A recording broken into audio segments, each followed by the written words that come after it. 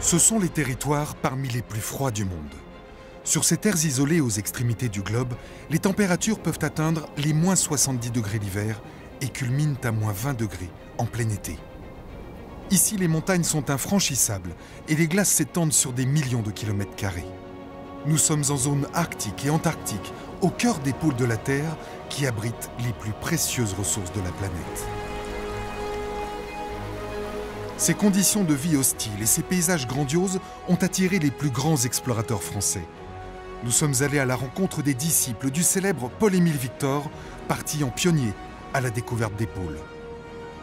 Jean-Louis Étienne, le marcheur en solitaire, Claude Lorius, le célèbre scientifique, ou Jean Mallory, l'ambassadeur des Inuits, tous sont partis seuls se mesurer aux extrêmes et sont revenus avec des découvertes majeures pour eux-mêmes et pour l'humanité.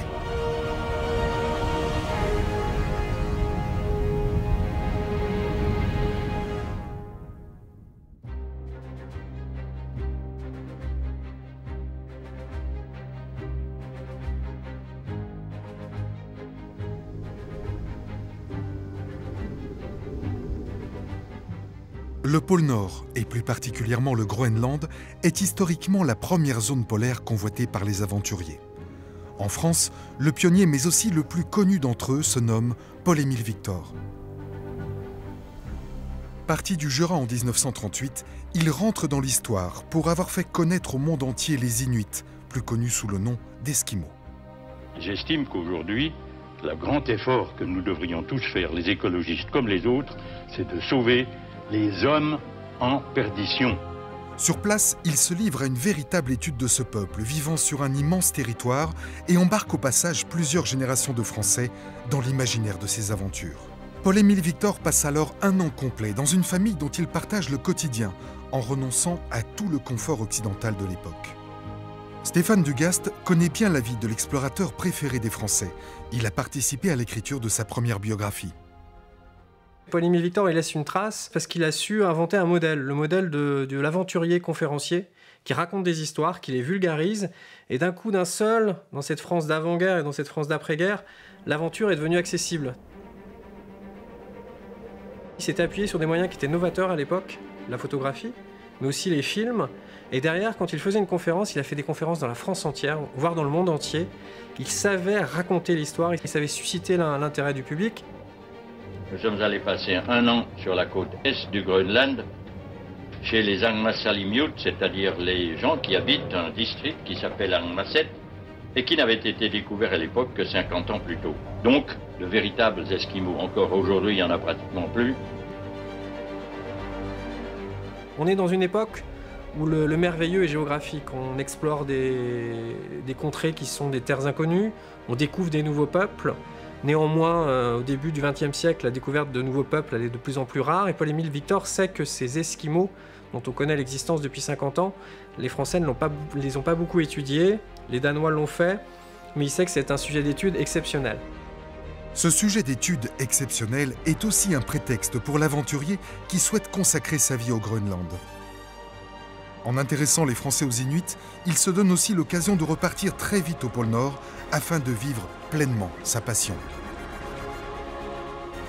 Et Paul-Émile Victor a compris qu'en s'intéressant au grand public, euh, en le vulgarisant, quand on vulgarise, parfois on est imprécis, ce que ne manque jamais de lui reprocher les, scientifiques, mais euh, ça devient une opération qui est beaucoup plus rentable, puisque les gens euh, achètent des reportages, les journaux achètent les reportages de Paul-Émile Victor, on achète les livres de Paul-Émile Victor. Donc il y a un aspect mercantile qui va un des, et, commercial, qui va être un des premiers à assumer. Pour la deuxième fois en deux ans, les glaces du Groenland ont revu une expédition polaire française qui, sous la conduite de Paul-Émile Victor, a traversé les 500 km qui séparent la côte ouest du centre du Groenland. Les actualités françaises présentent aujourd'hui les premiers éléments du film rapporté du Grand Nord par Marcel Ischac et Jean-Jacques Les politiques de l'époque ont compris quelque chose ont compris qu'il fallait donner du rêve aux gens. Il fallait les gens les impliquer. Et sur ce terrain-là, les explorateurs sont les meilleurs passeurs, les meilleurs pourvoyeurs de rêves. Donc les grands explorateurs vont se partager, si j'ose dire, le marché. Paul-Émile Victor va aller dans les explorations polaires, qui va cette fois mener au nom de la France et de la science. Puis en 1947, Paul-Émile Victor a l'idée de créer les expéditions polaires françaises qui vont permettre à la France d'installer durablement ses scientifiques, à la fois au Groenland, mais aussi au pôle sud, en Terre Adélie. Il y a aussi, en tout cas sur les premières missions en Terre Adélie, des revendications territoriales où la France montre que le, pavillon tricolore flotte fièrement en Terre Adélie, que les Français sont de nouveau en Terre Adélie. Et par sens des opportunités, certains diront opportunisme, Paul-Émile Victor va créer ses expéditions polaires françaises, réussir à lever des fonds, ce qui est guère évident dans une France qui est exsangue après-guerre, mais il va surtout aussi donner du, du sens, du rêve, et tous les jeunes gens qui vont l'accompagner sont bien souvent des montagnards, parce qu'il faut des gens rustiques, des gens qui, qui l'esprit d'aventure. Ces gens-là sont bien souvent des résistants, qui sont en manque euh, d'idéal, la guerre est finie. Donc c'est cette incroyable euh, machine, on dirait de guerre polaire, les expéditions polaires françaises qui va, qui va se créer et que Paul-Émile Victor va incarner à lui tout seul et qui va faire perdurer jusqu'à son départ à la retraite au milieu des années 70.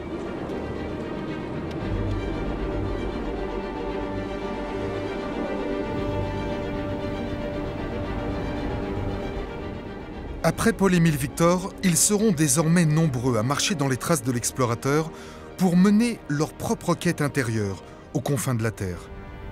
Bonjour à tous et bon dimanche. Il y a une semaine, jour pour jour, pour la première fois dans l'histoire de l'aventure, Jean-Louis Étienne arrivait au pôle Nord géographique sur ses skis de fond. Pour parvenir au pôle, Jean-Louis Étienne avait, comment vous dire, skié, marché, pendant trois jours d'affrontement avec les périls de la nature glacée. Notre envoyé spécial Gilles Deblair et sa caméra ont assisté à ces moments inoubliables que nous découvrons ensemble. Jean-Louis, Jean-Louis Etienne est médecin de formation. L'aventurier fait ses premières armes en montagne, dans les Alpes, puis accompagne des expéditions en Himalaya ou en Patagonie. À 40 ans, il décide de vivre sa propre expédition, celle du face à -face avec soi-même, il est ainsi le premier homme à atteindre le pôle Nord en solitaire, tirant lui-même son traîneau pendant 63 jours.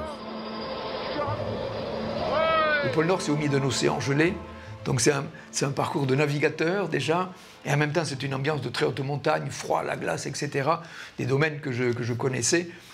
Et je me suis rendu compte après que j'avais la formation essentielle pour atteindre ce pôle Nord, c'est que j'ai un super campeur.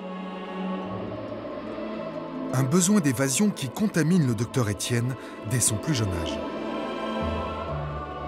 J'avais des idoles, c'était Bonatti, euh, Lionel Terret. Euh, j'avais dans ma chambre euh, d'adolescent sur le mur un panneau avec le, le, massif du Mont Blanc et je lisais Frison Roche et je regardais les passages. Je connaissais le nom des glaciers, l'emplacement des refuges, mais sans jamais y avoir été. C'était un, rêve. Donc c'est quelque chose qui, me, qui était en moi depuis, depuis très longtemps, certainement mu par euh, une timidité et la recherche d'éléments forts que je retrouvais dans, dans la nature. Donc vous voyez, les, les régions polaires sont, sont anciennes. Ce désir d'adolescent d'aller camper dans les Pyrénées en hiver, dans les montagnes, euh, je sais pas, des coins paumés. J'aimais cette intensité. J'aimais l'intensité avec les éléments, comme j'aime les tempêtes.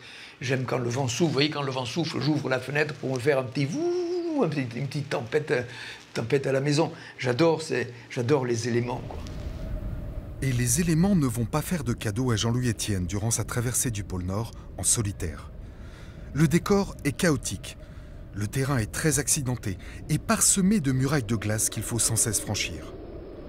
Une expérience très physique qui demande en permanence d'apprivoiser une banquise sans cesse en mouvement. Les choses se compliquent quand on s'arrête. Quand vous avez moins 48, moins 52 dans l'attente, j'ai connu, les matériaux changent de texture. Quand vous respirez, vous avez une buée qui gèle à l'intérieur avec la lampe frontale, vous ne voyez rien.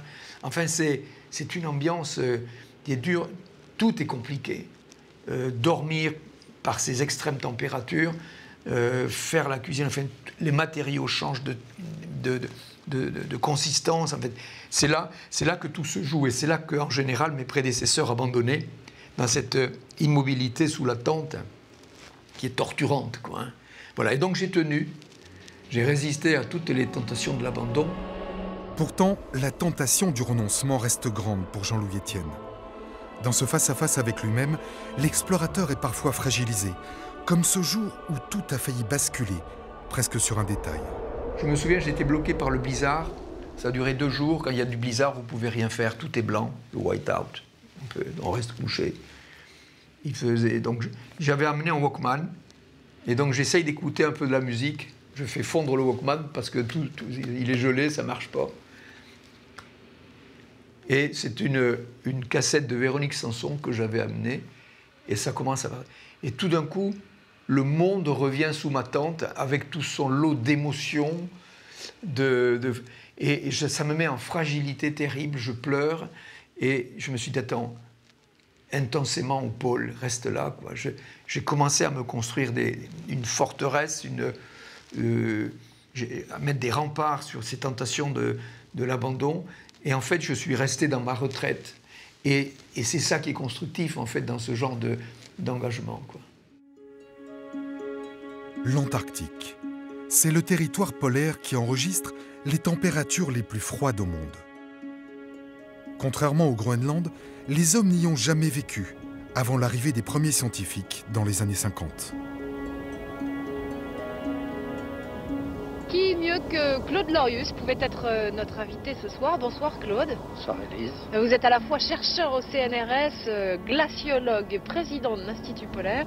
Euh, on a l'impression quand on vous emmène ici que vous êtes un petit peu chez vous. Élise, bien sûr, la première fois que je suis parti pour une mission. Claude Lorius est le spécialiste français du pôle Sud. Véritable visionnaire en matière de protection environnementale, le scientifique fait rapidement des observations explosives.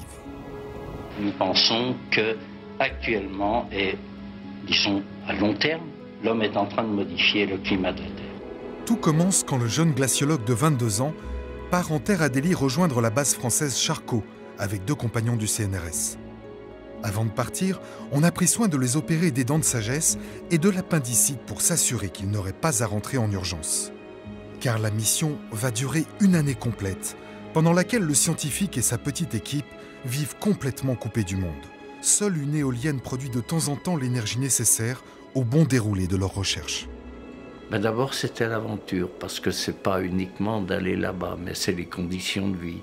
C'était pendant un an complètement isolé quand vous êtes à trois dans la petite baraque de 20 mètres carrés euh, pendant un an, euh, jour et nuit, euh, et moins 40 dès que vous ouvrez la porte, ça, il vaut mieux bien s'entendre avec les, les copains ou les autres. Une de ces découvertes fondamentales concerne la pollution atmosphérique. En observant la glace à différentes profondeurs, il remarque que l'on peut remonter dans l'histoire de l'atmosphère et ainsi repérer l'impact de l'activité récente de l'homme. Claude Lorius est ainsi le premier à mettre en évidence le lien entre la concentration des gaz à effet de serre et l'évolution du climat.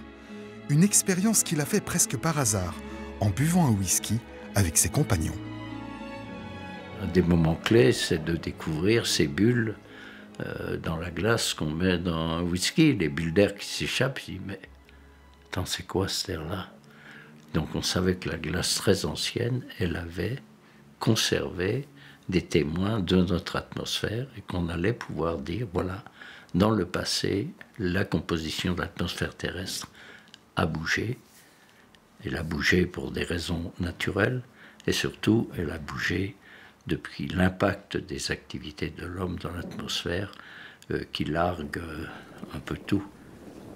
Moi, j'étais stupéfait de découvrir les retombées des explosions nucléaires, parce que les pays commençaient à développer le nucléaire pour euh, se défendre, se battre pour la guerre, pour tout ça. Et on voit tout d'un coup dans la neige, pas sur place, mais quand on est rentré dans le labo, ah, l'homme, on a fait ça.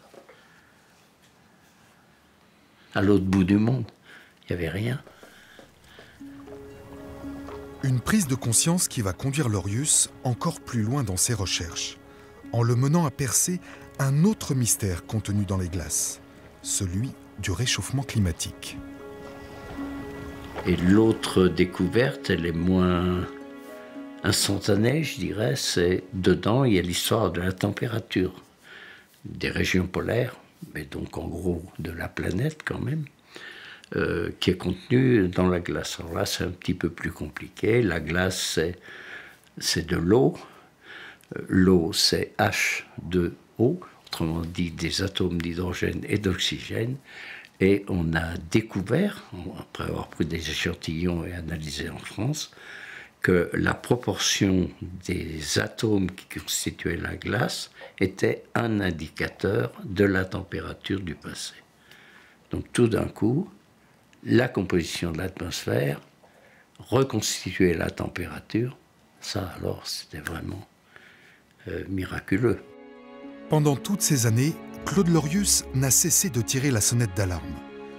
Mais malgré la reconnaissance de ses travaux, son message a-t-il vraiment été entendu? C'est l'atmosphère de la Terre entière qui est, touchée. Et c'est surtout quand est-ce qu'on va s'arrêter? Parce que ça, ça peut continuer. Et pour l'instant, ça continue. Parce que les pays n'ont pas envie de réduire leur capacité d'être les chefs de, de la planète. Hein.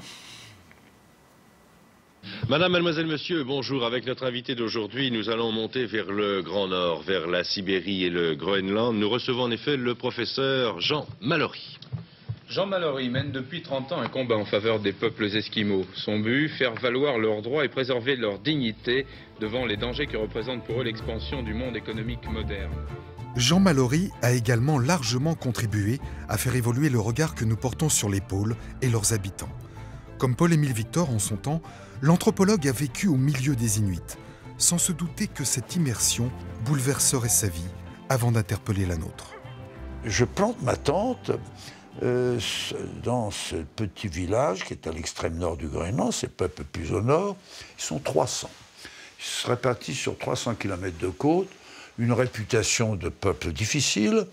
Je suis sous ma tente, et là-dessus, le pasteur autochtone, qui est un Groenlandais, vient vers moi et me dit Le chaman, qui s'appelle Outak, veut vous rencontrer d'urgence.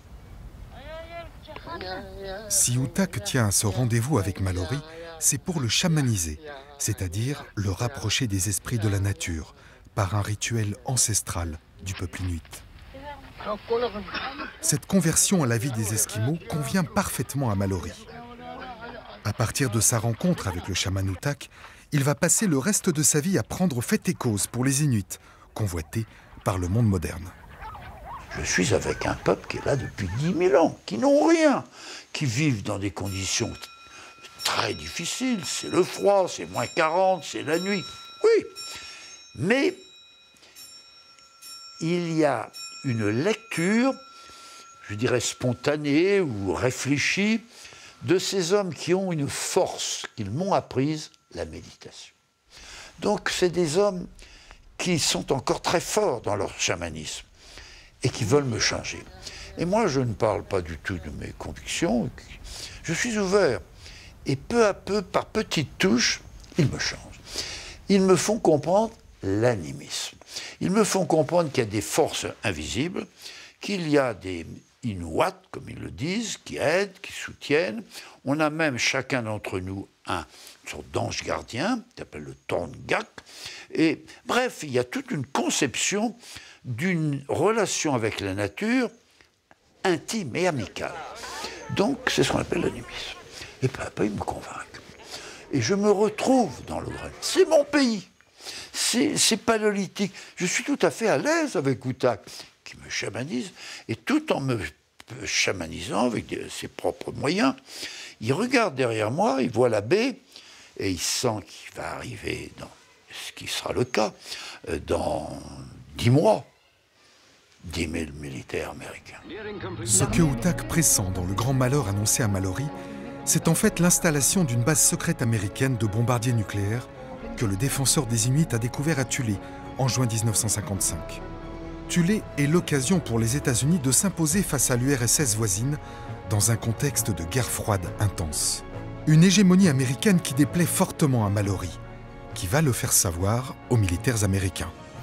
Pour moi, c'était intolérable, cette base euh, créée sans consulter la population, le Copenhague n'ayant pas eu un rôle particulièrement très clair, en, donnant ce territoire à l'OTAN, c'est impossible sans consulter la population. Or, la population m'a demandé d'être son représentant et de la défendre. Ce que j'ai fait.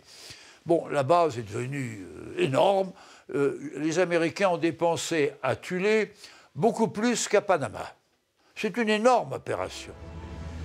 En dépit du combat de Mallory, les Américains s'installent durablement à Tulé, imposant peu à peu aux Inuits leur mode de vie. On les soupçonne par ailleurs de vouloir exploiter les ressources naturelles polaires, telles que le pétrole ou l'uranium. En réaction, Mallory crée la collection des terres humaines, dans laquelle il publie les textes fondateurs de la défense des peuples premiers. Je suis très soucieux que cet espace du Haut Arctique soit consacré par l'ONU, par l'UNESCO, parce que nous sommes face à d'immenses dangers.